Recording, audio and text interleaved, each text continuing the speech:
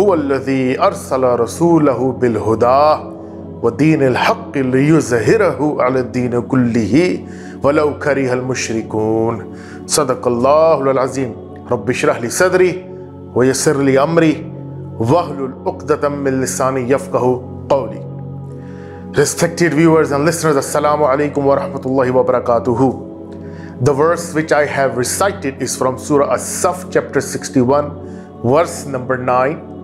It says, هُوَ الَّذِي أَرْسَلَ رَسُولَهُ بِالْهُدَى It is He who sends down His messengers with guidance. وَدِينِ الْحَقِّ With the religion of truth. لِيُزْهِرَهُ عَلَى الدِّينِ كُلِّهِ the truth which will bulldoze all other isms. وَلَوْ كَرِهَ الْمُشْرِكُونَ How much the mushrikeen or the disbelievers detest it. Chapter 61 verse number 9. In another verses, Allah also men, uh, mentioned وَلَوْ كَرِهَ الْكَافِرُونَ وَلَوْ كَرِهَ الْمُشْرِكُونَ وَكَفَى بِاللَّهِ شَهِيدًا And Allah is enough to witness to this fact that this religion will prevail and bulldoze everything, every ideology.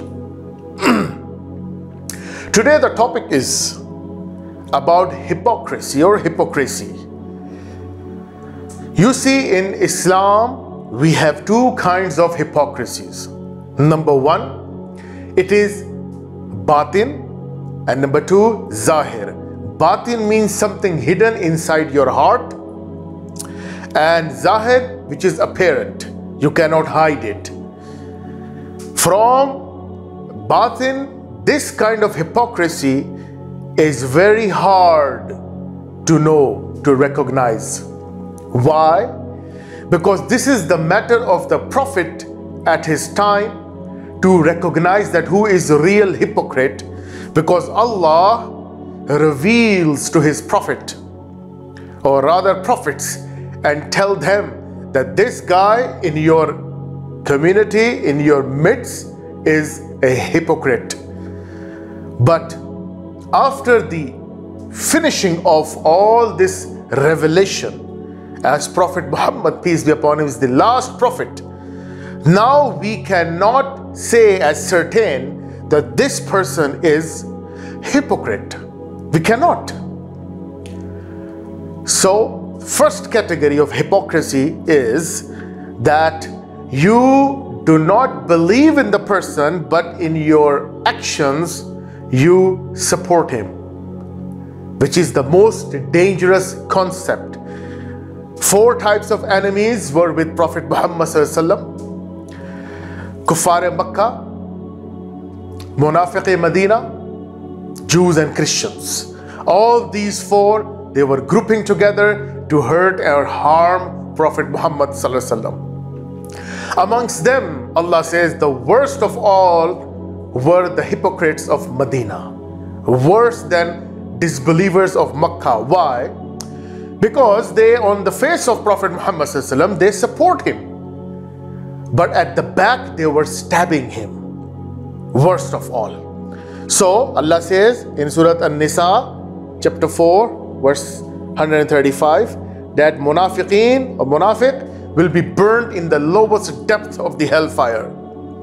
They will be not, they will be not be forgiven. They will not be forgiven at any cost. This is munafiq Medina. This type of hypocrisy you cannot find now or identify them with. That is why we have the worst of scenarios everywhere because we do not know that this guy is honest with us or not. So this number one category, let's keep this aside. Allah will judge on Yawm al-Qiyamah. The second one is intellectual hypocrisy or apparent hypocrisy, which we are doing now, which is recognizable for example, you believe in something but you don't do it.